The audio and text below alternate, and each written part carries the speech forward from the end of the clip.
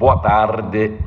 17 horas e 20 minutos, 28 de abril de 2021. Cá estamos mais uma vez. Sempre eu falo a mesma coisa, né? Só muda a data. Toda quarta-feira cá estamos. Primeira pessoa entrando, Letícia Branco e logo após Gabriel Vasca. Opa, começando. Estamos aqui para mais um.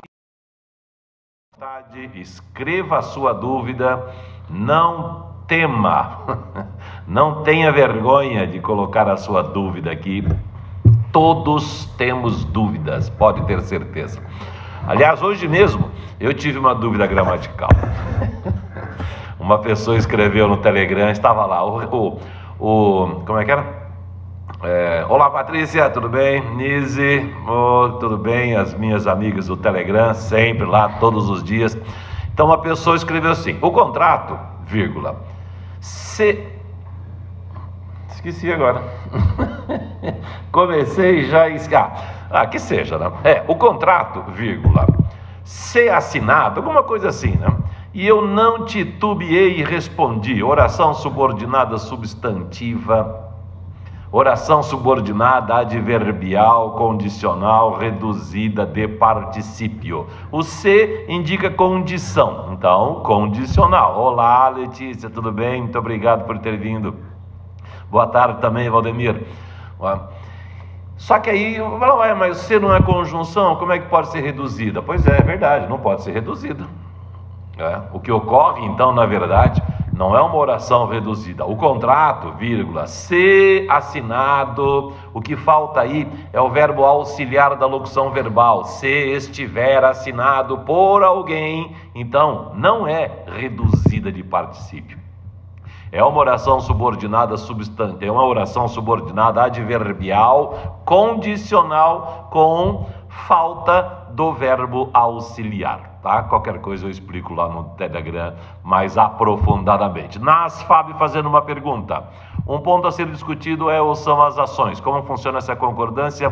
Bom, o que ocorre é o seguinte: quando houver o verbo ser, que é o chamado verbo de ligação, ou verbo copulativo, quando o sujeito e o predicativo do sujeito forem representados por substantivos, que é o que acontece aqui, ponto é substantivo, ação também é substantivo, e estiverem numericamente diferentes, ou seja, um no singular, outro no plural, a tendência é colocar o verbo no plural. Uma tendência que se transformou em regra. Por quê? Porque é o seguinte: o verbo de ligação indica qualidade. Então, quando você diz a garota é linda e passa para o plural, as garotas são lindas, tudo vai para o plural. Mas quando os dois são substantivos, não há como você saber quem é quem. Ah, o verbo sempre concorda com o sujeito. Então, a garota é linda. Por que é? Porque o sujeito garota, substantivo, está no singular, então o verbo fica no singular e o predicativo também fica no singular. Passando-se o substantivo para o plural, tudo vai para o plural. Agora, se são dois substantivos, como saber qual é o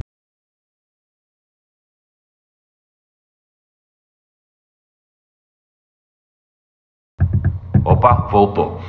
É problema na internet aqui, travou, agora voltou. Então, quando houver dois substantivos, como é que você vai saber quem é o sujeito e quem é o predicativo de sujeito? Se não há uma qualidade propriamente dita.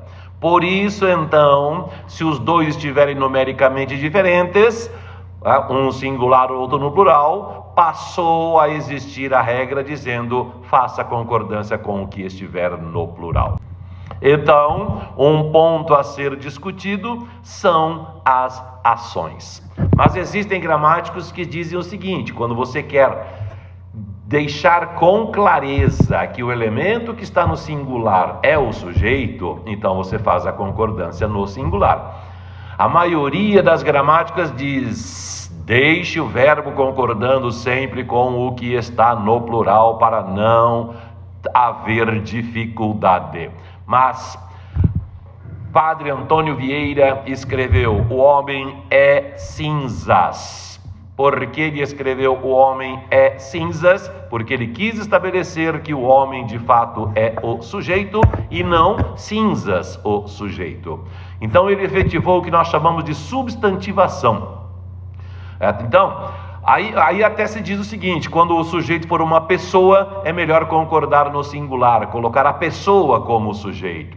A, a, é, a garota é as alegrias da casa e não a garota são as alegrias da casa. Resumindo, verbo ser, dois substantivos numericamente diferentes, a concordância se faz com o verbo ou com o substantivo que está no plural. Se quiser dar ênfase dizendo que aquele que está no singular é o sujeito, deixe o verbo no singular, como o padre Antônio Vieira, o homem é cinzas. E esses dias também houve uma pergunta no Telegram.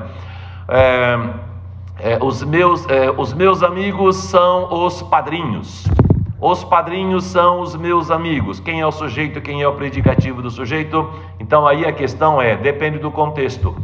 Você tem de analisar qual é a substantivação. Quer dizer, se se a substantivação recair sobre os meus amigos, quer dizer, nós estamos falando dos meus amigos, está vendo ali os meus amigos? Então, cara, os meus amigos é que são os padrinhos do casamento. Então, os meus amigos, sujeito, os padrinhos, predicativo do sujeito. Se no contexto a substantivação recair sobre os padrinhos, quem são os padrinhos do casamento? Você sabe? Ah, ah, os padrinhos do casamento uh, são os meus amigos. A substantivação recai sobre padrinhos, eles, sujeito, amigos, predicativo do sujeito. Singular, plural, então, explicadinho, beleza? Qualquer dúvida, nasce. Não sei se você faz parte do nosso grupo do Telegram, entre lá no nosso grupo, sempre discussão diária Olá, Emily Bianchini, há quanto tempo você não aparece por aqui? Seja bem-vinda. Letícia perguntando: como faço análise sintática da oração? Querer é poder? Exatamente a mesma. Os padrinhos são meus amigos, os meus amigos são os padrinhos. Querer é verbo, poder é verbo, só que os dois estão usados na sua forma abstrata, ou seja, na, de fato, não são verbos aqui. São verbos transformados em substantivos. Querer é poder, não há uma pessoa praticando ação. Não há uma ideia de fato de uma ação. Então, os dois são tomados como substantivos, a ideia é exatamente a mesma, depende do contexto, e no contexto dá para perceber que a substantivação número um é querer, ou seja, esse é que é o sujeito.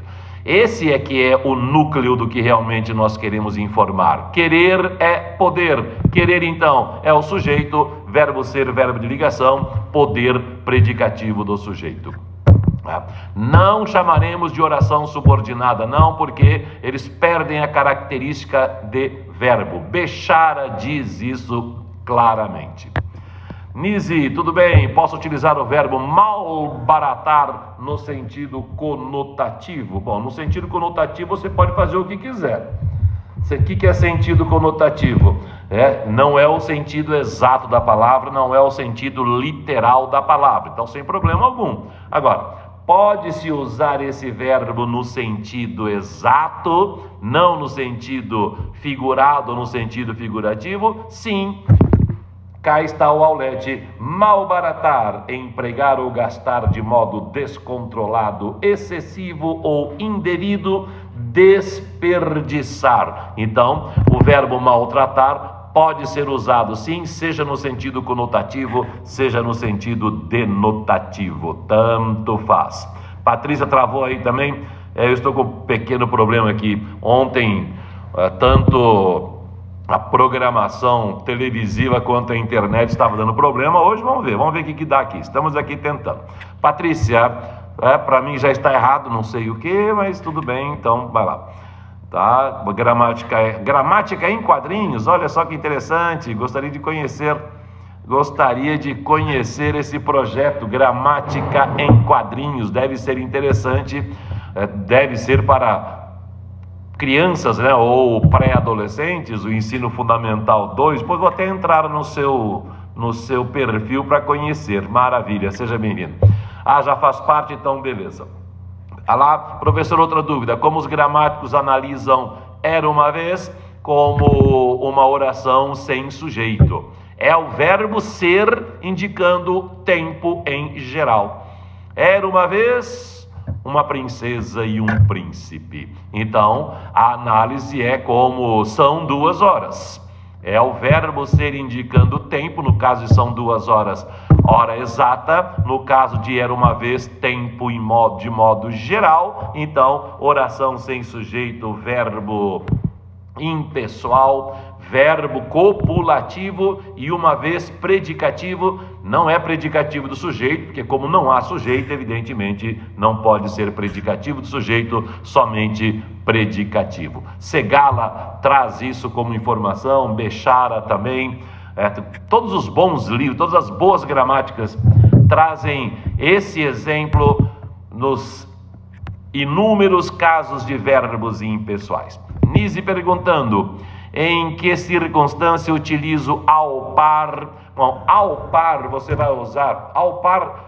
O, o uso exato de ao par é no sentido de moedas estarem mais ou menos equilibradas. Por exemplo, na época de Fernando Henrique Cardoso, presidente do Brasil, o real estava ao par do dólar, ou seja, o real e o dólar tinham mais ou menos o mesmo preço, um dólar, um real, ô oh, tempinho bom aquele. Então, esse é o uso, Nise. Ao par, estar no mesmo nível e a, a, o uso primário é em se tratando de moedas. E aí, por extensão, tudo aquilo que esteja nivelado pode ser usado ao par, e regência é isso, ao par de Coloca-se a preposição de imediatamente à frente. Tá. Vamos ver mais alguma pergunta. Olá, Neuda, sempre presente nas. Eu vi ontem uma pergunta no perfil de um professor, perguntando se o professor Sacone é real ou não. Bom, você nunca vi foto dele palestra, nada. Bom, ele deve ter sido real, né? Não sei nem se ele está vivo ainda. Eu tenho um livro dele aqui, peraí.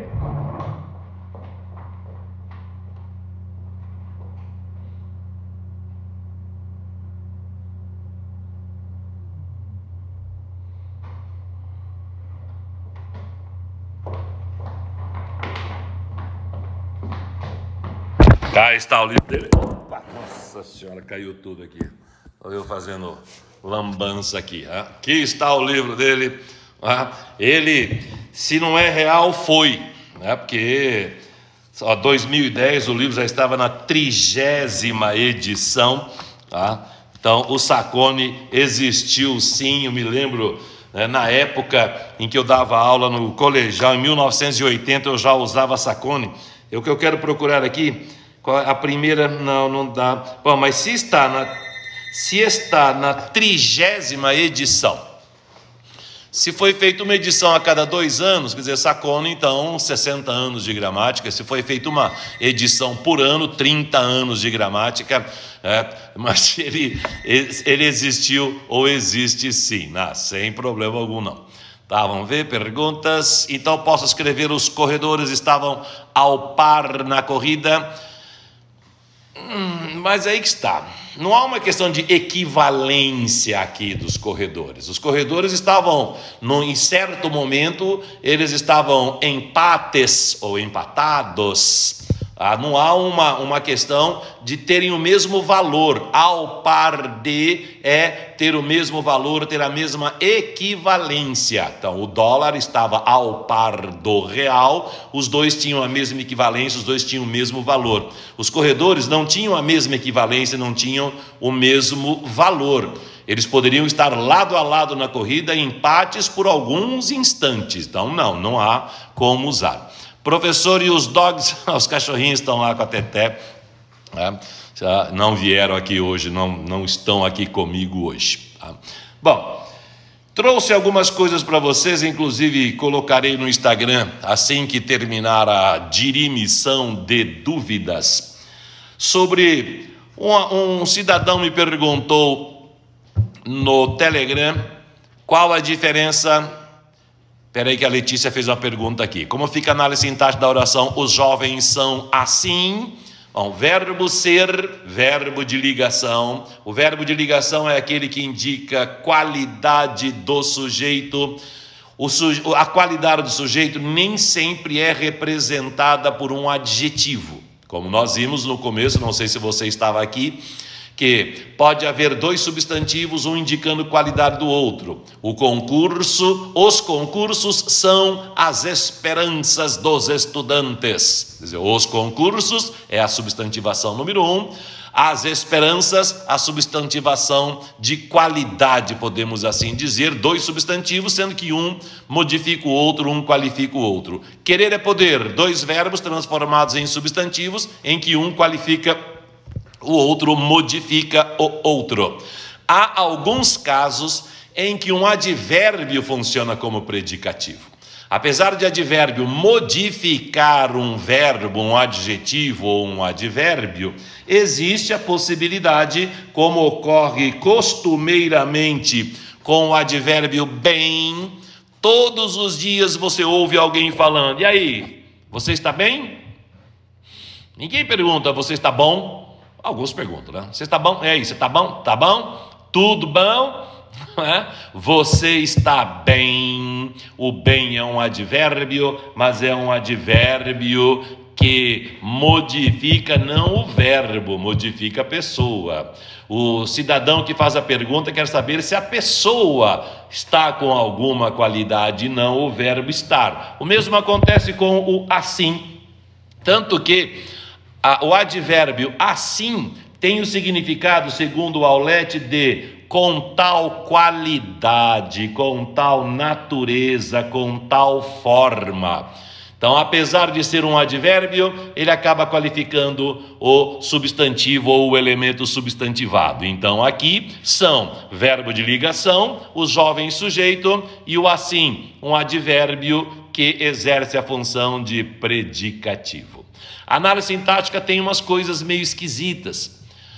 Lá na década de 1950, 1960, que não é a minha época, eu nasci em 1959, a, a, análise sintática era chamada de lógica. Então, lógica, você tem que trabalhar exatamente com isso, com a lógica, com o contexto, com a interpretação. Evidentemente, a frase os jovens são assim Há o substantivo jovens, há o verbo ser e há o advérbio assim. Porém, você percebe que o assim qualifica, modifica jovens e não o verbo ser. Então, a lógica nos diz que é um advérbio funcionando como predicativo, exatamente como acontece com o bem. Eu estou bem. Estar, verbo de ligação, bem predicativo. E a Patrícia perguntando, a par, exato, eu acabei não falando, fiquei somente no ao par. A par significa estar ciente. Eu estou a par do assunto, é a mesma regência, é a preposição de, exatamente como aconteceu com o ao par. Tá? Então, isso a Nise já respondeu, já havia respondido para a Patrícia. Patrícia agradeceu. Tá. Então, como eu estava dizendo, perguntaram-me esses dias sobre particípio passado e particípio presente. Alguém sabe o que isso significa? Antes de responder, dir-lhe-ei, você denunciará a sua idade se responder o que é particípio passado, o que é particípio presente. Por quê? Porque isso é uma coisa antiga. Antigamente havia o particípio passado e o particípio presente. Fizeram-me a pergunta no Telegram, eu respondi, mas adiantei, olha, é uma coisa que não se usa mais. É algo que ficou no passado. Hoje é só particípio. O que é particípio? É o verbo terminado em ado ou em ido, funcionando como, como principal de uma locução verbal. Eu tenho estudado muito, principalmente com o verbo ter e com o verbo haver, formando um tempo verbal composto.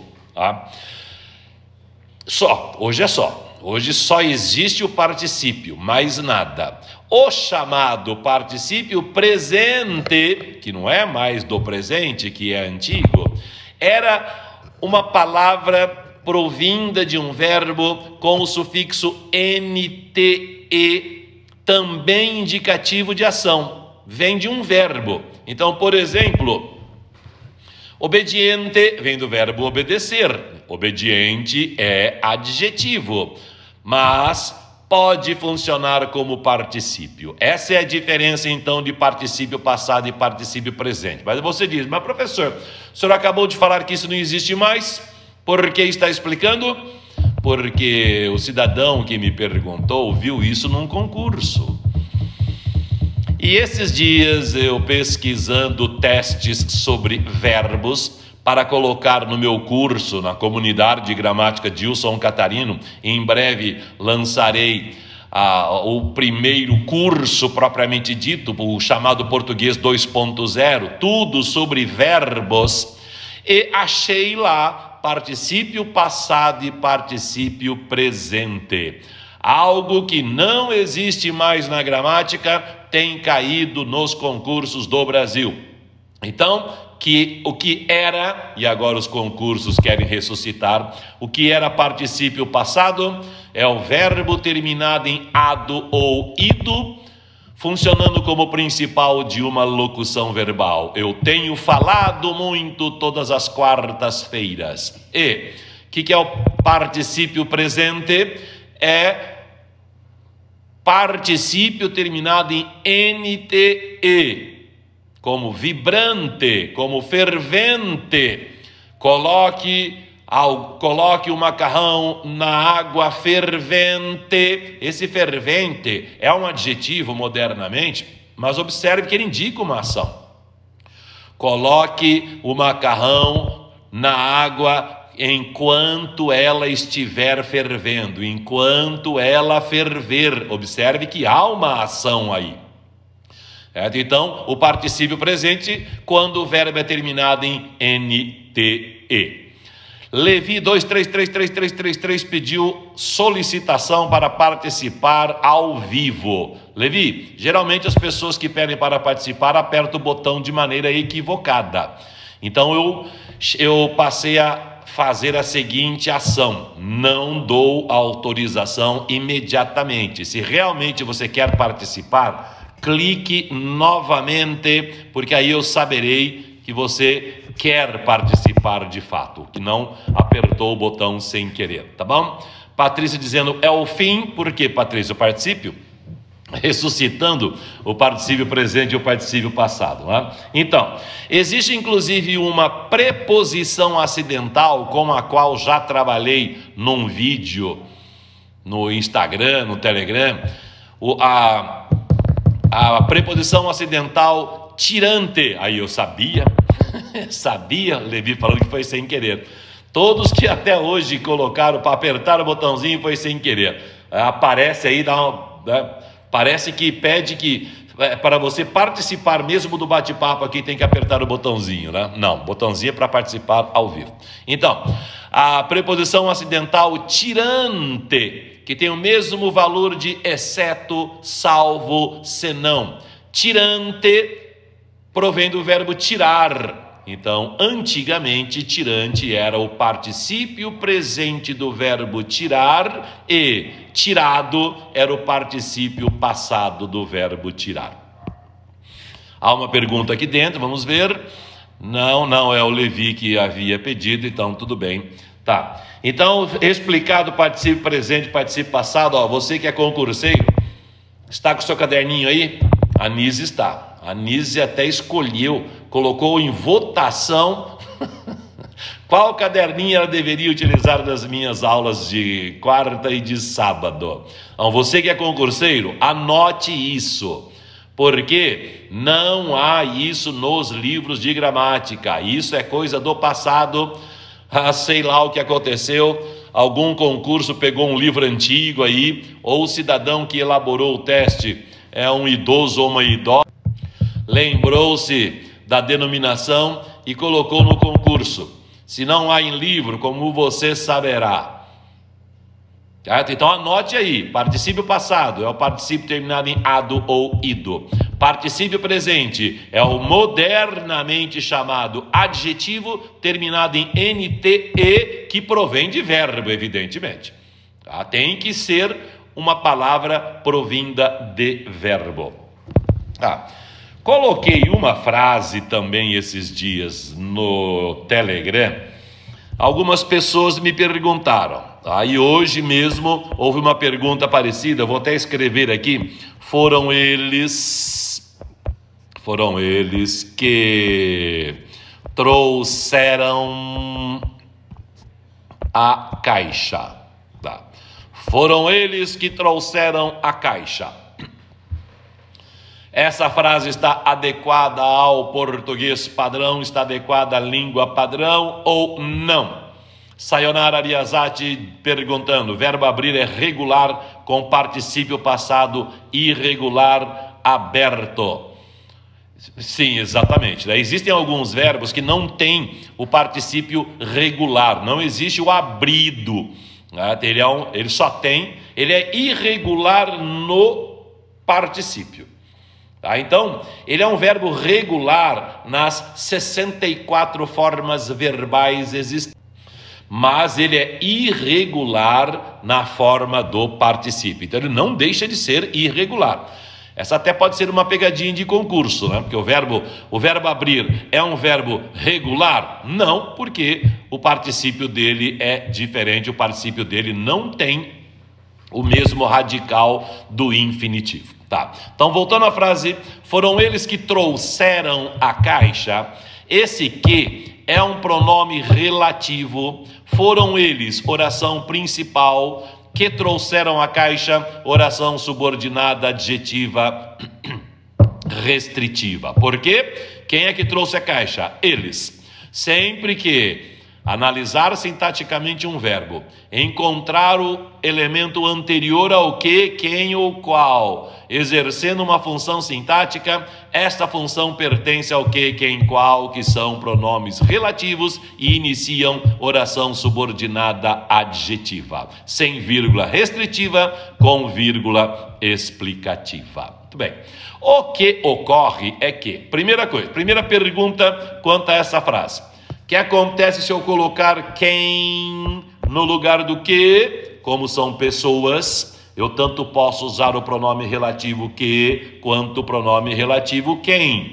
E aí, a regra primária diz que quando o pronome relativo quem funcionar como sujeito, a concordância se dá na terceira pessoa do singular. Mas, desde a década de 1970, 1980, os gramáticos admitem a concordância com o elemento anterior também. Então, concordância primária, foram eles quem trouxe a caixa. Tanto que, se você inverter as duas orações, você perceberá que é exatamente essa concordância. Quem trouxe a caixa foram eles. Fala, Marcos, beleza? Seja bem-vindo. Quem trouxe a caixa foram eles. Jamais você dirá quem trouxeram a caixa foram eles. Mas devido à semelhança do que com o quem, os gramáticos em geral aceitam a concordância com o elemento antecedente, foram eles quem trouxeram a caixa. E um último detalhe quanto a esse tipo de oração é que nós podemos tirar o pronome relativo, modificar um pouco a frase e usar o que chamamos de partícula es... Aê, travando toda hora. Então, nós podemos tirar o pronome relativo, seja que ou quem, e colocar a partícula expletiva eles é que trouxeram a caixa. Então, foram eles que trouxeram a caixa, foram eles quem trouxe a caixa, foram eles quem trouxeram a caixa, nos três casos, que e quem, pronomes relativos, e aí, oração subordinada adjetiva restritiva. Quando houver eles é que trouxeram a caixa, não havendo a concordância do verbo ser com o pronome eles, é que nós chamamos de, par, de, de, partícula expletiva. A partícula expletiva pode ser retirada. Eles trouxeram a caixa. O que pode levar alguns alunos confundirem, se confundirem, é o que foram eles que trouxeram a caixa. Se você tirar o foram e o que, eles trouxeram a caixa. Então, tem a maior cara de partícula expletiva também. Mas tanto Segala quanto Bechara mostram que a sequência das palavras indicam um ser pronome relativo e o outro ser partícula expletiva. Se a frase for iniciada pelo verbo concordando com o elemento que vem à frente, o que será pronome relativo? Se se utilizar o é que, haverá a partícula expletiva. E isso acontece quando o elemento, o termo funcionar como sujeito do verbo posterior. Eles trouxeram a caixa. Mas, por exemplo, aquela frase que eu coloquei para vocês na semana retrasada, não sou eu que vocês devem criticar. Não sou eu que vocês devem criticar. Um político que falou isso no Brasil. Não sou eu que vocês devem criticar, etc, etc, mas sim a seus detratores. Nesse caso, já não há a possibilidade de usar o verbo ser concordando com o pronome, porque o pronome não funciona como sujeito do verbo posterior. Eu devo criticar? Não. Vocês devem criticar. Vocês devem criticar a quem? Devem criticar eu? Não. Vocês devem criticar a mim. Então, como eu não funciona como sujeito, como aconteceu com foram eles que trouxeram a caixa, poderia ser fui eu que trouxe, que trouxe a caixa, foste tu que trouxeste a caixa, fomos nós que trouxemos a caixa. Sempre que houver esse tipo de formação, haverá o pronome relativo. Agora, não é sujeito, então não pode ser não sou eu, e sim não. O pronome eu, o pronome funciona como complemento do verbo criticar. Então, não é a mim que vocês devem criticar. Não é a mim que vocês devem criticar, mas sim a seus, sei lá o que que ele falou, tá lá, detratores. Mas não vou colocar a frase inteira. Então, concurseiro, cuidado. Frases como fui eu, foste tu, foi você, fomos nós, fostes vós, foram vocês, ou foi ele, ela, ou foram eles, elas Pode haver a concordância, deve haver a concordância do verbo ser com eu, tu, ele, nós, vós, eles. Se este elemento funcionar como sujeito do verbo que vem depois do que ou do quem. Nesse caso, que e quem são pronomes relativos.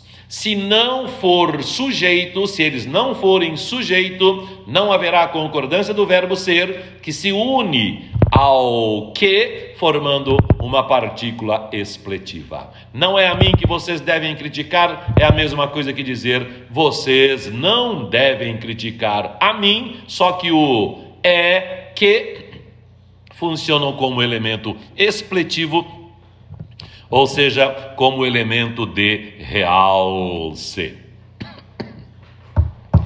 Perfeito? Escrevi Fiz um vídeo na segunda-feira sobre o verbo pagar. E nesse vídeo, inclusive na minha coluna da CBN também, CBN Londrina, da mesma forma eu falei. Fiz então na minha coluna da CBN falando sobre isso, coloquei no Instagram, no Telegram, e aliás, o vídeo não foi feito ainda não. O vídeo eu fiz do verbo agradecer. E eu expliquei o seguinte: pagar algo a alguém e vocês devem ter percebido já que quando, quando eu explico essas questões de complemento verbal, oh, Samuel e Helena assistindo também. Olá, Samuel. Olá, Helena. Meus amiguinhos, amigos do Pedro, meu netinho. Que bom, que maravilha. Uh, interesse por língua portuguesa. então, quando eu explico essas questões de complemento verbal, complemento etc e tal, quando é para concurseiro, beleza, objeto direto, objeto indireto. Mas quando é para o público em geral, como acontece no Instagram, ou às vezes até no Telegram, eu evito colocar a nomenclatura porque o cidadão fala: o que, que é isso, objeto direto? O que, que é objeto indireto? É, tá dando problema mesmo, Patrícia. A internet não está muito bem, não. É, então eu prefiro trabalhar com a explicação lógica. Ou seja, quando você utilizar o verbo pagar, se a coisa for o complemento, pagar algo, sem preposição. Paguei o carro à vista. Paguei a casa em três vezes. O pronome que se usa no lugar deste complemento, o, a, os, as. Paguei o carro, paguei o. Paguei a casa, paguei a. Beleza. Quando a pessoa for complemento, a preposição a é obrigatória. Paguei ao meu amigo a dívida que eu tinha. Então eu devia ao meu amigo, paguei-lhe ontem. É obrigatória a preposição a e o pronome que se utiliza lhe ou lhes ou a ele, a ela, a eles, a elas. Perfeito? Entendido? Aí uma pessoa escreveu lá no Instagram: "Ah, eu não gosto dessa explicação não, porque eu prefiro dizer objeto direto e objeto indireto. Até porque se eu disser paguei o imposto ao fisco, paguei a dívida ao banco, não há uma pessoa. E você disse que a pessoa, blá, blá, blá, blá. Bom, há uma pessoa. Há a pessoa jurídica. Banco é uma empresa, é pessoa jurídica. Fisco não é uma empresa, mas funciona como tal, como uma pessoa jurídica. Me lembro até de quando eu trabalhava em sala de aula, eu brincava, aos alunos, brincava com os alunos quando explicava esse verbo, e aí eu dizia a eles assim: daí, vocês já pagaram o colégio esse mês? Aí alguém sempre respondia: já. E eu perguntava: você vai, eu vou continuar trabalhando aqui ou você vai me demitir? Olha só o Gigo. Ei, Gigo. Fala oi lá, Gigo. é? Eu vou continuar trabalhando aqui ou você vai me demitir? Eu falo, o que, que é isso, professor? O que, que o senhor está falando? Que a questão é a seguinte: colégio é uma empresa, portanto é pessoa jurídica. Se é pessoa jurídica, verbo pagar, rege a preposição a. Vocês já pagaram ao colégio. A coisa paga que não tem preposição é a mensalidade. Vocês já pagaram a mensalidade ao colégio? É muito comum as pessoas indicarem posse. Vocês já pagaram a mensalidade do colégio? A mensalidade não é do colégio. Pagar algo a alguém com a preposição a. Então, seja pessoa física, seja pessoa jurídica, tanto faz. Aliás, pode haver inclusive personificação. Dizer, essa explicação de algo a alguém, falando de coisa, de pessoa, é para ficar mais fácil o entendimento, em vez de usar as nomenclaturas, objeto direto, objeto indireto, verbo bitransitivo, é, fica muito mais simples. Então, numa, numa, numa personificação também, agradecer aos céus a chuva que vem hoje à noite aos céus, estou personificando agradecer algo a alguém. Agradecer a árvore com crase os frutos recolhidos, tá? Então, pessoa física, pessoa jurídica ou personificação, preposição a, pronome lhe, lhes.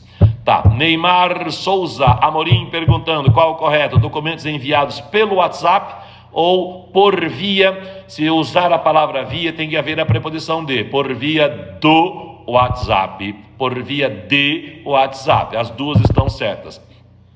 Os documentos foram enviados pelo WhatsApp, os documentos foram enviados por via do WhatsApp. Gramaticalmente, a preposição por é a mais adequada. Por quê? Porque quando você usa o enviado, há o particípio do verbo enviar tal do particípio passado, né? Ao particípio do verbo enviar, e ocorreu a omissão do verbo auxiliar. Os documentos foram enviados, e aí há uma locução verbal passiva que comumente rege a preposição por. Os documentos foram enviados pelo WhatsApp. Porém, na frase apresentada, documentos enviados por pode causar uma ambiguidade. Os documentos foram enviados por mim.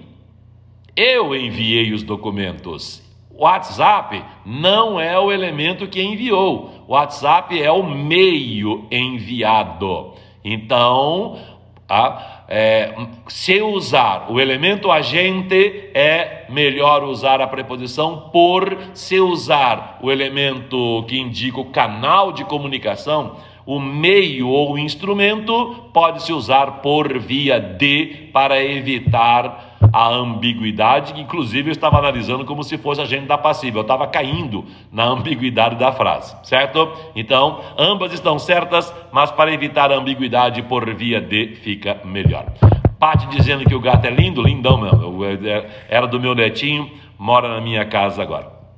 Tá. E aí a Giovanni, o certo seria os documentos foram enviados através do WhatsApp, através. Provém do verbo atravessar. A, a luz passa através do vidro. Esses são ensinamentos que passaram através do tempo. Então, através sempre tem uma, uma noção de encaminhamento no espaço ou no tempo. Então não se deve usar através de para indicação de instrumento ou de meio. O ideal é por meio de, mediante alguma coisa, por ou por via de. Então, os documentos foram enviados por mim mediante o WhatsApp, por meio do WhatsApp, pelo WhatsApp, não usar através de. Alguns gramáticos já admitem o através de, porque hoje mesmo eu estava lendo qual era a explicação, agora esqueci qual era a explicação, mas tudo bem, vamos supor que, por exemplo, a questão do à vista com crase ou sem crase, tá? que até eu escrevi esses dias no Instagram e algumas pessoas perguntaram, ué professor, o senhor não colocou, a, a Nise perguntou no, no Telegram e alguns perguntaram no Instagram, o senhor não colocou crase no à vista? Tá certo isso? Sim. É, primitivamente não existe crase à vista. Indicação de meio. Eu paguei o carro à vista. É o meio de pagamento, não é o modo. A confusão vem por causa disso. O adjunto adverbial de modo feminino com acento indicativo de crase, mas o adjunto adverbial de meio sem crase. Ele matou a esposa a faca, sem crase. Ele matou a esposa a facão, a tiro. A tiros, inclusive, sem crase, é só a preposição a. A regra diz: adjunta adverbial de meio feminino sem crase. Pode usar a crase se houver ambiguidade. Quando eu digo paguei o carro à vista, não há ambiguidade. Clarissimamente eu digo que eu paguei tudo de uma vez. Quando, por exemplo, até expliquei isso depois para a pessoa. Quando, por exemplo, eu digo assim, cara, fui ver aquele apartamento, que coisa incrível. Quando eu abri aquela sacada e eu vi aquela coisa maravilhosa à minha frente, olha, vou te falar a verdade, cara, eu paguei à vista. Eu paguei à vista.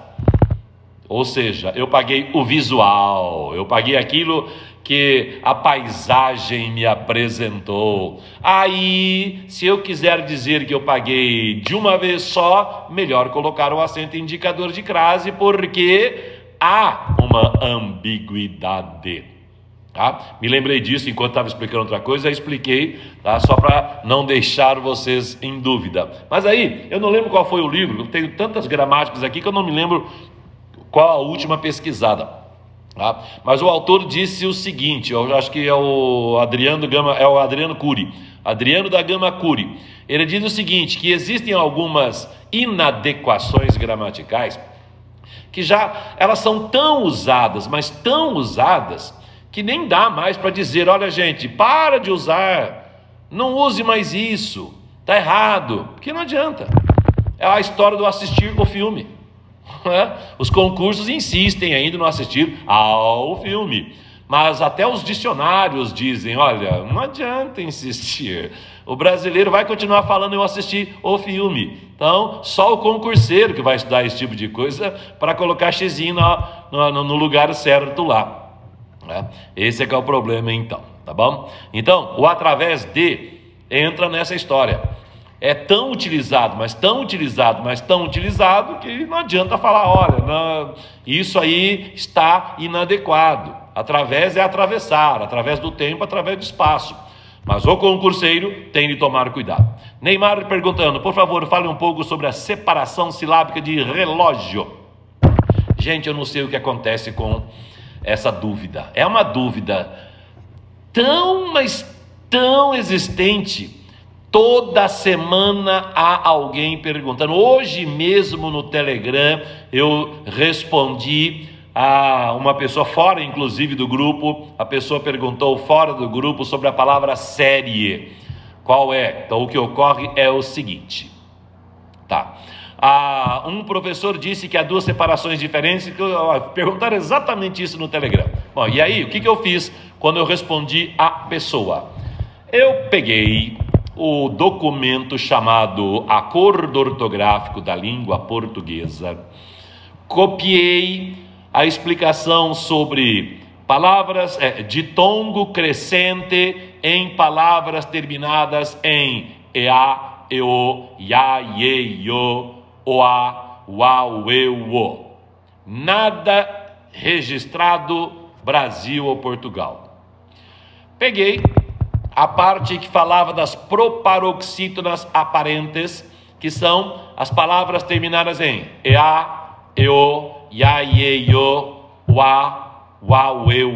Nada registra sobre Brasil ou Portugal. Inclusive, o documento chamado Acordo Ortográfico ou Reforma Ortográfica da Língua Portuguesa é um documento que serve para unificar a língua nos países lusófonos. Então, se serve para unificar, ridículo seria dizer: ah, em Portugal tem de ser assim, no Brasil tem de ser assado. Não é isso. O que o professor deve ter falado, e aí algumas pessoas devem ter confundido, é que em Portugal o uso mais comum é um, no Brasil o uso mais comum é outro, mas não que em Portugal há uma regra, no Brasil há outra. Isso não existe. Tá? Então, todas as palavras terminadas em ea, eo, ya, ye, yo, wa, uau, eu, o, com a sílaba anterior acentuada, como acontece com relógio, com refúgio, com série, com armário, com secretária, com tábua, com tênue. Essas palavras podem ser registradas como paroxítonas terminadas em ditongo crescente ou como proparoxítonas. Se forem paroxítonas, qual separação silábica? Relógio. Aí o io é a, o, o ditongo crescente. Se, for proparoxí, se forem proparoxítonas, relógio, antepenúltima sílaba mais forte. Não existe isso de que em Portugal é uma regra e no Brasil é outra. O que existe é lá há um, uma tendência de uso, aqui há outra tendência de uso. Aliás, sobre tendências de uso, em Portugal eles usam acento agudo nos verbos conjugados, verbos terminados em ar, conjugados na primeira pessoa do plural do pretérito perfeito do indicativo. Por exemplo, ontem nós falamos sobre isso. Lá em Portugal, eles usam acento agudo. Ontem nós falamos sobre isso com acento agudo para diferenciar de hoje ou sempre nós falamos sobre isso. No Brasil, não, ninguém usa esse acento. Só que a reforma ortográfica veio para unificar, portanto, no Brasil também a, o acento é opcional. Tanto em Portugal quanto no Brasil, o acento pode ser usado. Mas o que é que existe de fato? Em Portugal eles usam o acento, no Brasil nós não usamos. Ah, então quer dizer que lá em Portugal se usa e aqui no Brasil não se usa? Não, não é isso. Pode ser usado o acento, seja em Portugal, em Moçambique, em Angola, em Cabo Verde, não interessa, ou no Brasil, não interessa, qualquer país lusófono. Verbo terminado em amos no passado pode ter acento, no presente, não. Beleza? Tá. Ah, ô Moura, obrigado. Gessilene, ama as aulas. Amaragi, que longe de barbaridade, hein? Acho que para o que você terminar de tom. Sim, exatamente as duas, como eu falei. Sempre uso por meio certinho, Patrícia. Deixa gravada, mestre. Sim, todas as aulas. Agora que eu estou sem a equipe, quando eu estava com a equipe, essa aula nunca ia para o para o YouTube. Ficava só lá no IGTV, IGVT, sei lá, lá no Instagram e agora eu, eu consegui colocar no YouTube. Então hoje mesmo já vai para o YouTube, tanto o YouTube quanto o Instagram, quanto o Telegram, tá? Sempre as aulas ficam gravadas ou salvas, tanto faz, Eunice. É, professor, sério que a vista não tem crase? Não, Patrícia. não, não é isso. Tá? Modernamente, os autores, eh, alguns gramáticos dizem ponha a crase à vista. Esse acento indicador de crase é para evitar ambiguidade. Então, se não houver ambiguidade, não há por que usar o acento indicativo de crase. Como eu disse, comprei o carro e paguei-o à vista, não há ambiguidade alguma, então não há por que colocar o acento indicativo de crase.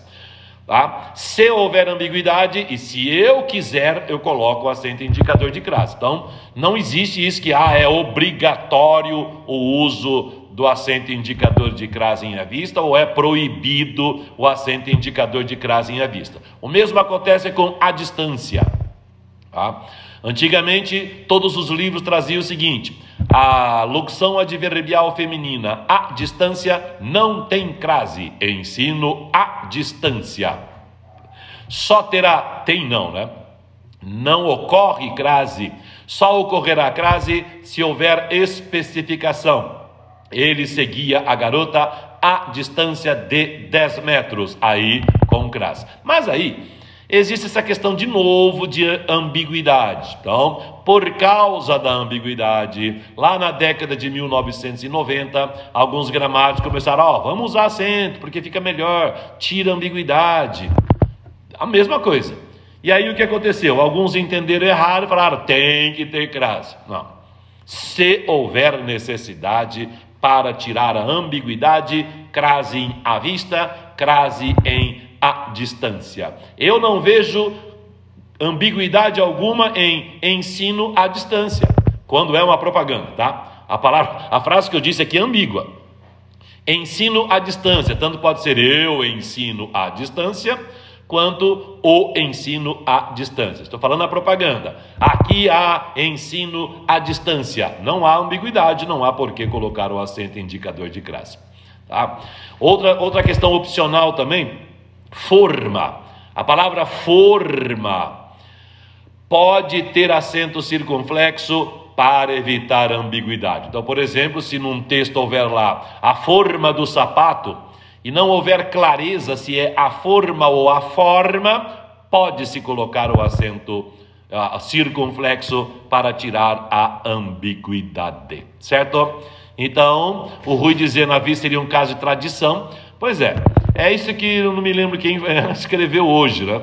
Existem coisas que não adianta você falar, para, para, para, tem que aceitar, né? Acaba aceitando, né? mas a regra é isso. A regra é isso que eu falei agora exaustivamente. Aí a Giovanni dizendo, depende do contexto, exatamente depende do contexto. Agora, concurseiro e concurseira, cuidado, né? Concurso já viu, né? O concurso está chamando de. voltou a chamar de participe passado e participe presente. Pode acontecer qualquer coisa. A Patrícia dizendo que quer usar porque é mais chique. é, é, mais chique, Patrícia, usar o acento indicador de crase. Tudo bem, pode usar, Patrícia, sem problema algum. Mas nos concursos, eu sei que você não é concurseira, mas você é estudante de letras. Tá? Então, primeiro, cuidado com as provas, cuidado nas provas. Segundo, quando você se formar, se você quiser ser professora, tá? cuidado com isso. É, do que eu acho que assim fica mais bonito, assim fica melhor. Não, o professor tem que ensinar o que existe. Tem de ensinar o que é o adequado, mesmo que não goste. É, há muitas coisas que eu ensino, que eu falo aqui, que eu falo, meu Deus do céu, o que, que eu estou falando? Mas está lá, está escrito lá, o que, que eu vou fazer? Tá? Isso aí. Faltam quatro minutinhos para terminarmos a aula. Joguem perguntas aqui. Então, eu falei sobre o pagar algo a alguém. Deixe-me apagar o que eu já falei. Não, vou deixar aqui. Tá? Ah, ah, uma pergunta sobre essa história do, do falecimento do príncipe Philip. Aí alguns perguntaram por que ele não é rei. Não é? E aí a, a, a, os dicionários trazem o seguinte: que nas vinte e tantas, vinte e tantas, fugiu meu nome agora, ah, os vinte e tantos países que tem rei e rainha, ah, nossa, fugiu completamente o nome agora do que, que é. O país que tem rei é uma. Então, que seja. Tá? Ah, falou na hora, ah, Levi, travou, travou na hora que você falou sobre crase à vista em crase. Então, à vista, com crase se houver ambiguidade, sem crase se não houver ambiguidade. Modernamente as pessoas têm usado crase, mesmo não havendo ambiguidade, talvez para se garantir. Mas o que a regra diz é à vista, sem crase. Se houver necessidade de se colocar o acento indicador de crase para esclarecer, para tirar ambiguidade, pode usá-lo. Cuidado nos concursos. Tá? É, o que, que eu estava falando agora? Ah, então, é, o que eu, eu pesquisei nas monarquias. Nas vinte e tantas monarquias no mundo, há somente duas com rainha. E aí a legislação lá diz o seguinte: a maioria das monarquias tem a legislação que diz o seguinte: quando o país tiver um rei, a sua esposa será a rainha. Quando ela falecer, ela passará a ser a rainha mãe e a nova esposa rainha. Quando a mulher for a rainha, o seu marido não será o rei, será o príncipe, ou príncipe consorte. Consorte não são duas palavras. Consorte, uma palavra só. O príncipe consorte é o príncipe casado com a rainha. O filho da rainha, o, o, sobrinho da rainha, o neto da rainha, todos são chamados de príncipes. Muito bem. Qualquer monarquia pode mudar a regra, lógico. Entra uma mulher como rainha de Portugal, aí ela, não, resolvi, vou mudar, não quero saber, eu quero que meu marido seja chamado de rei. Pronto. Muda a regra, muda a legislação, ele passa a ser chamado de rei. Mas os dicionários trazem essa explicação. Mulher do rei, rainha. Viúva do rei, rainha mãe. Mulher, esposa do rei, né? Ou mulher também, né? É, marido da rainha, príncipe ou príncipe consorte. E a primeira dama? Primeira dama é a esposa do prefeito, do governador, do presidente. Tá. E no caso da presidenta ou da presidente, tanto faz, da governadora e da prefeita, marido dela, quem ele é? Pois é. Oficialmente não há nome, ele é só marido. é.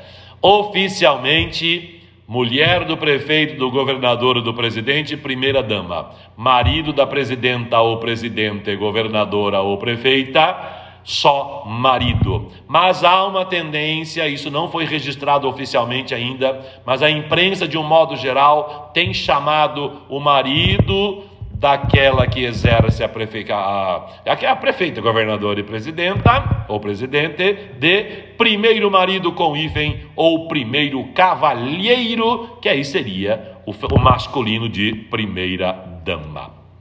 Tá, é isso aí, gente. 18 horas e 20 minutos, terminamos o nosso trabalho de hoje.